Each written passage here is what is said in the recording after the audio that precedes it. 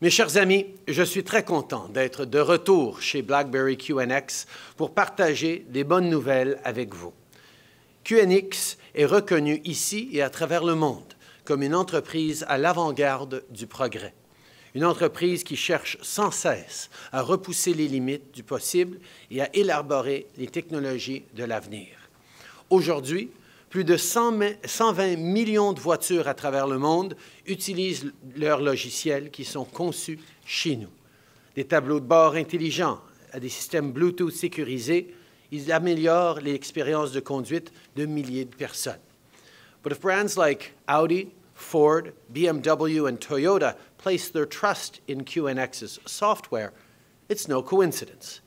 QNX has built a stellar reputation as one of the most reliable and cutting-edge software providers in the world.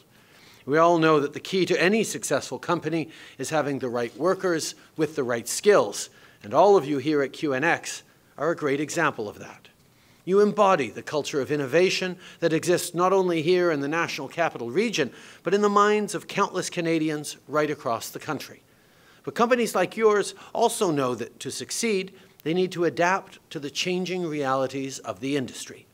When it comes to the auto industry, things like self-parking and automatic braking are rapidly transforming the driving experience, and of course, it's only the beginning. We're already talking about driverless cars using machine learning to get us from point A to point B. The cars of the future are bound to be not only autonomous, but also connected to one another, communicating between them to make our roads safer. For a global leader like QNX, this represents an unprecedented opportunity for growth, but of course, the competition is fierce. The race for a top spot in the new economy has already begun, and if we want to see Canadians take the lead, we need to have their backs. Today, the Government of Canada is investing $40 million to help QNX design and develop a new software platform for the next generation of vehicles.